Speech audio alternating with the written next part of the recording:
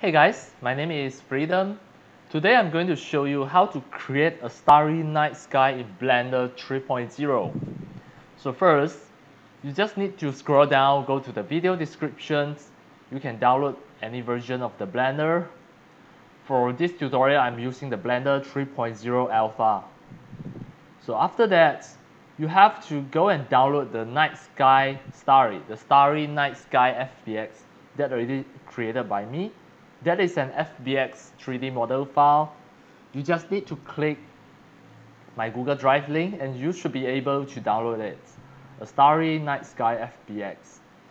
And actually, for, the, for that night sky, it is a sphere and the, the texture is downloaded from the solarsystemscope.com slash texture. It is a free texture and distribution distributed under the Attribution 4.0 International License. You may use it for any purpose. So now, let us start. Once you already downloaded it, that FBX file is the night sky starry, the name, the starry night sky. It is a 3D model, you can just have a check. This is a sphere with full of the star, it can become a panorama sky. Alright, the next, open your Blender 3.0 or it can be Blender 2.9 as well, it doesn't matter. First, what you are going to do, okay, as, as my demo, I will just delete everything, delete the camera, delete the cube, and also delete the light first. Because of this is an FBX file, so I'm going to click File, Import, FBX I download it on my desktop, so I click the desktop, night sky, starry, starry night sky, double click it. And you can see this is a sky.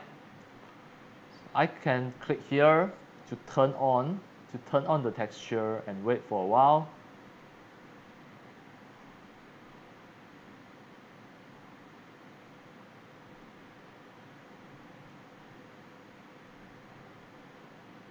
Okay, now you can see this is a, a star sky, a sky map. I can just click and press S button to make it bigger.